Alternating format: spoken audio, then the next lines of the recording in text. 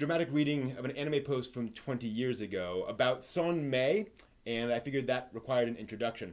Son May was a company that imported uh, bootleg Taiwanese anime soundtracks back in the 90s. So basically, they would duplicate legitimate Japanese soundtracks and sell them for cheap through Taiwanese channels.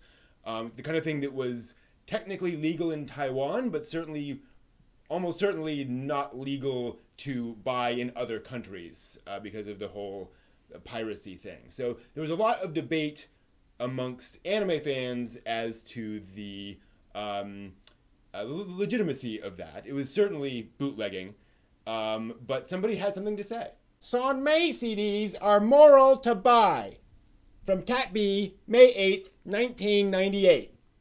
I realized that since the Japanese government regulates CD prices, that it would be moral to go underground and rip them off by buying SonMay CDs. SonMays. I mean, $30 for a CD is just plain unreasonable.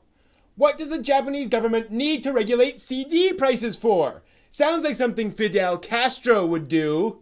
Who wants to support evil communists when you can support pirates who will not trying to do anything about the situation, as their profits would be lost are inadvertently affecting the Japanese market?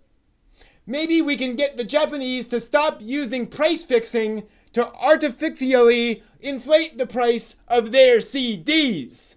Huh.